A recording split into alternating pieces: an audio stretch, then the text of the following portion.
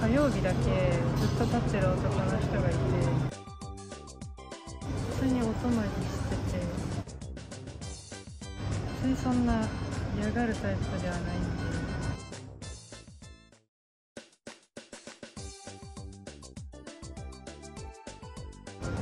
はい。1ヶ月ちょっとなんか友達の友達って感じで紹介されて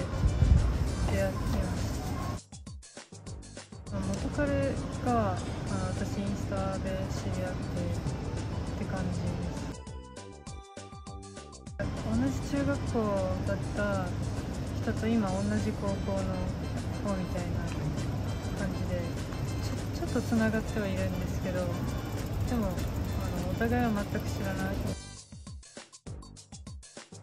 か向こうからその遊びに行かないかとか言われて遊びに何回か行ってそれでみたいな。いつもなんか週3回塾行っててその駅のあの出口にこう地上に上がるときに階段があるじゃないですか。そこでいつも火曜日だけずっと立ってる男の人がいて何してるんだろうってずっと思ってたんですけどその翌週とかになって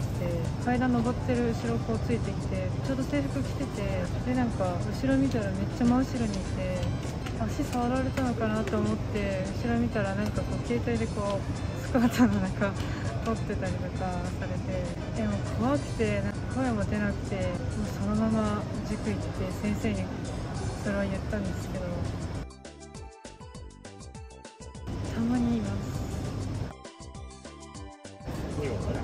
引っ張られて強引にみたいなのあったんですけどなんかすごい外人で逃げました。でなんかあんまり縛りたくはないんでなんか女の友達とかと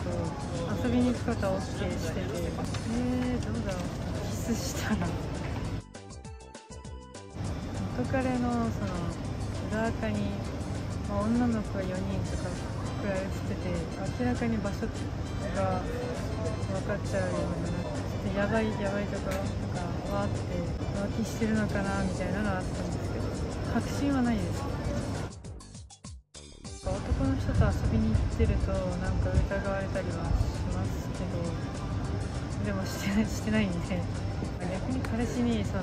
自分がどうこうとかじゃなくてその相手側の男の人に下心を持って緒に遊ばれてたらちょっと浮気とかの可能性あるから怖いなとは言われてるんですけ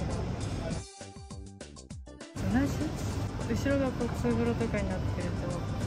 なんかいいなって。手つなぐまで最初はちょっといや特にない。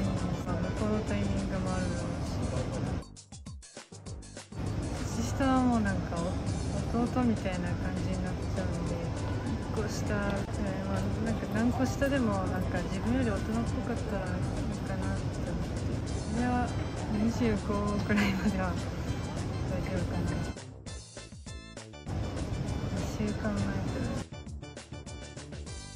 相手は経験ありますあこんな感じか。特になんか痛いでは全くない